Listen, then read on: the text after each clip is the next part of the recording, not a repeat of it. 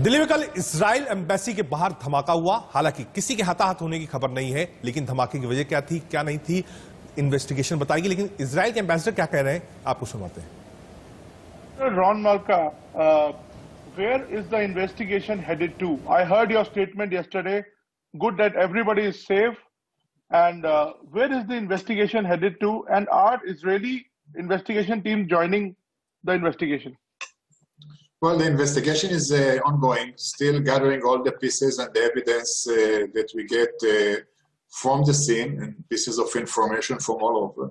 There is a full collaboration between uh, the Indian authorities and the Israeli authorities.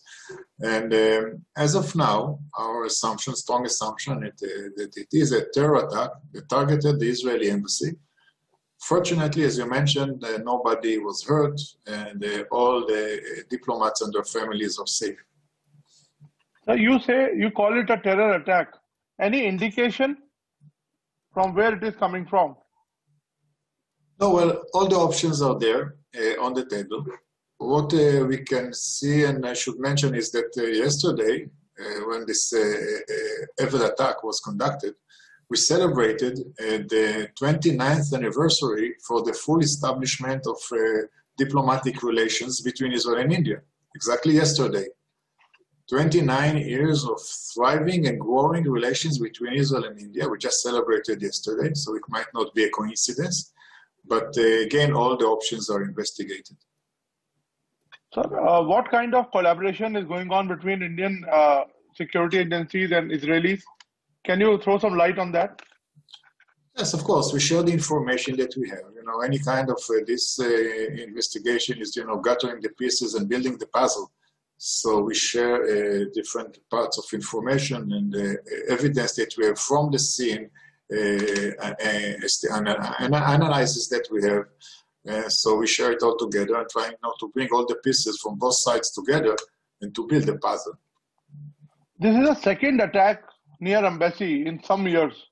Last attack was indicated to the Iranians. So do you think there's a pattern and do you see any similarity in the two attacks? Well, this is one of the options. As you mentioned, in 2012, there was a terror attack against Israeli diplomats here in Delhi, not far from the embassy.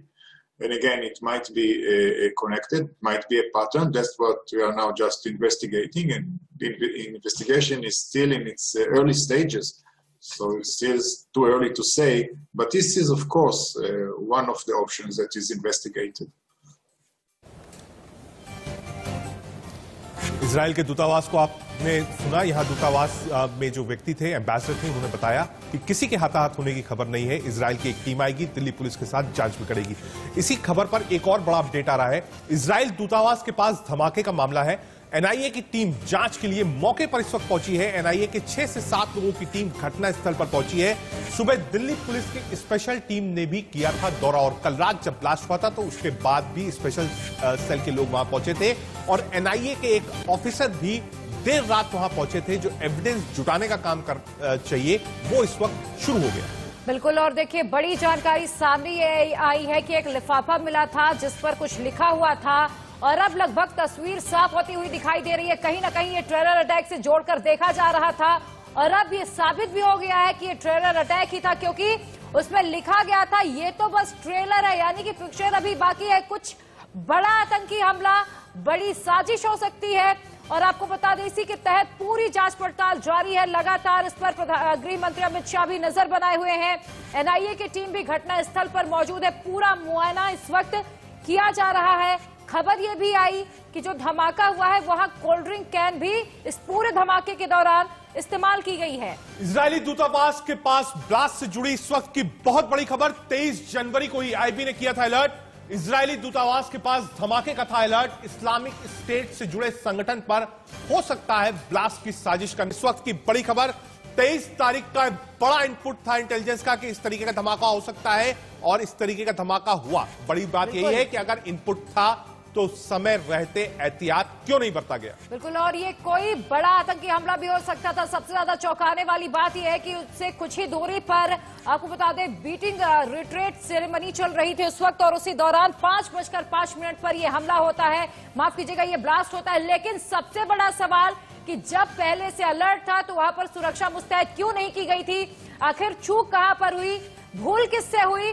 और अब ये पूरा मामला गर्माता हुआ दिखाई दे रहा है और दो सहयोगी इस वक्त हमारे जुड़े हुए हैं, आदित्य नायर और राकेश सिंह जुड़ गए हैं। सबसे पहले राकेश, आपके पास आना चाहूँगी, चूँकि बहुत बड़ी ये घटना है।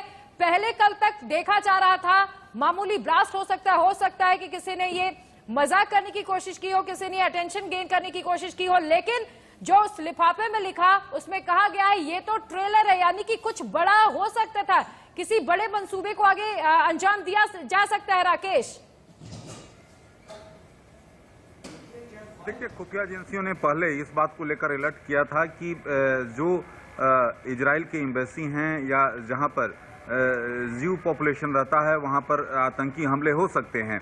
रही बात कि इजराइल दूतावास के पास कल शाम को बम धमाके से जुड़ा एक लिफाफा मिला, जिसके बाद इस घटना का ईरान कनेक्शन सामने आ रहा है। इस लिफाफे में इस ब्लास्ट का टेलर बताया गया है और बदला लेने की बात कही गई है। मौके से मिले लिफाफे में 2020 में मारे गए काशिम सुलेमानी और ईरान के वरिष्ठ न्यूक्लियर वैज्ञानिक मोहसिन फखराजादे का भी ज़िक्र किया गया है। लिफाफा मिलने के बाद पूरी तौर पर जो ईरानी कनेक्शन है वो सामने आ रहा है। इससे पहले साल 2012 में इजराइल की एक कार में धमाका हुआ था और इस धमाके में दो ईरानी शामिल थे। ये लोग दिल्ली के पहाड़गंज के होटल में राकेश थे क्या जाँच जाँच एनआईए ने अपने हाथ में ले ली है? क्या एमएचए ने जाँच एनआईए को दे दी है या दिल्ली की स्पेशल सेल करेगी? और खबर यह भी आ रही है कि इसराइल से भी एक टीम आएगी जो दिल्ली में एजेंसीज के साथ जाँच करेगी। देखिए जो सूत्र बता रहे हैं कि ईरान की माफ़ कीजिएगा इजराइल की मोसाद की टीम जो है घटना की जाँच के लिए दिल्ली आ सकती है आने की खबर है। ठीक है राकेश ठीक है हम वापस भी आएँगे इसी बड़ी खबर पर बने रहेंगे। वक्त हो चला एक छोटे से ब्रेक का ब्लास्ट से जुड़ी हर अपडेट। इन्वेस्टिगेशन क्या कह रही है क्या मुसाद की टीम यहाँ आएगी क्या एनआईए को क्या क्या मिला है शुरुआती जाँच में सब कुछ आपको बताएँगे लेकिन एक छोटे से ब्रेक के बाद।